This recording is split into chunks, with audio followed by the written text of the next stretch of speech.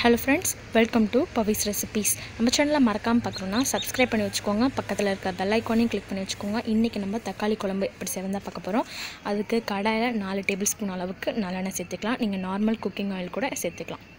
நல்லெண்ணெய் நல்லா சூடானதுக்கப்புறமா இதில் ஒன்றரை டீஸ்பூன் அளவுக்கு சோம்பு சேர்த்துக்கலாம். சோம்பு வந்து நல்லா பொரிஞ்சதுக்கப்புறமா ஒரு கொத்து போல் கருவேப்பிலை சேர்த்துக்கோங்க. கருவேப்பிலையும் நல்லா பொரிஞ்சதுக்கப்புறமா ஒரு கப் அளவுக்கு பெரிய வெங்காயம் நல்லா பொடிசாக வெட்டி வச்சுருக்கேன். நீங்கள் சின்ன வெங்காயம் கூட சேர்த்துக்கலாம். சரிங்களா? சேர்த்துட்டு எல்லாத்தையும் நல்லா வதக்கி விட்டுருங்க. வெங்காயம் நல்லா வதங்கி வரணும். இந்த அளவுக்கு வந்ததுக்கப்புறமா இதில் நான் ஏழு நல்லா பழுத்த தக்காளியை எடுத்து வச்சுருக்கேன். அதையும் சேர்த்துட்டு நல்லா வதக்கி விட்டுருங்க. இது நல்லா வதங்குறக்காக இதில் ஒரு ஒன் ஒரு ஒன்றரை டீஸ்பூன் அளவுக்கு கல்லுப்பு சேர்த்துக்கலாம். சேர்த்துட்டு நல்லா அது தொக்கு மாதிரி வர அளவுக்கு வதக்கி விட்டுருங்க. இப்போ தேங்காய் விழுது அரைச்சிக்கலாம். கால் கப் அளவுக்கு தேங்காய். கொஞ்சமாக கல்பாசி சேர்த்திங்கன்னா நல்லா வாசனையாக இருக்கும். ஒரு துண்டு பட்டை ரெண்டு கிராம்பு சேர்த்துட்டு எல்லாத்தையும் நல்லா மைய அரைச்சிருங்க.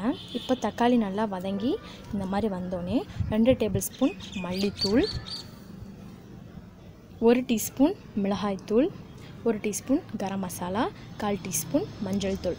சேர்த்துட்டு எல்லாத்தையும் நல்லா பச்சைவாடை போகிற அளவுக்கு வதக்கி விட்டுருங்க இது அடிப்பிடிக்காமல் இருக்கிறதுக்காக நான் இப்போ கொஞ்சமாக வந்து தண்ணி சேர்த்துக்கிறேன். சேர்த்திங்கன்னா அடிப்பிடிக்காமல் இருக்கும். ஓகேங்களா? அதுக்காக தான் தண்ணி சேர்க்குறோம். இதை சேர்த்துட்டு நல்லா பச்சைவாடை போகிற அளவுக்கு நல்லா வதக்கி விட்டுருங்க இப்போ பார்த்துட்டிங்கன்னா இந்த அளவுக்கு வந்ததுக்கப்புறமா தேங்காய் தேங்காய் விழுது அரைச்சி வச்சுருந்தோம் இல்லையா? அதை சேர்த்துடலாம் சேர்த்துட்டு அதை அலம்பி ஊற்றிருக்க இருக்க தண்ணியும் நம்ம சேர்த்துடலாம்.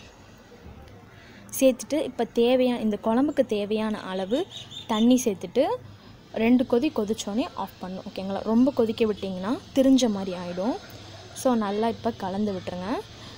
உப்பு பத்தலைன்னா டேஸ்ட் பார்த்துட்டு போட்டுக்கோங்க. எனக்கு இப்போ உப்பு கம்மியாக இருக்க மாதிரி இருக்குது அதனால் ஒரு கால் டீஸ்பூன் அளவுக்கு உப்பு சேர்த்துட்டு நல்லா கலந்து விட்டுறேன். இப்போது ரெண்டு கொதி கொதித்து வந்தோடனே மல்லித்தலை கருவேப்பிலை தூவி இறக்கிடுங்க சுவையான தக்காளி குழம்பு ரெடி ஆகிடுச்சு இது சாதம் தோசை இட்லி எல்லாத்துக்குமே ரொம்ப நல்லாயிருக்கும். ட்ரை பண்ணி பார்த்துட்டு எப்படி இருக்குங்கிறத கமெண்ட் பண்ணுங்கள் நம்ம சேனலை சப்ஸ்கிரைபும் பண்ணி வச்சுக்கோங்க. தேங்க்ஸ்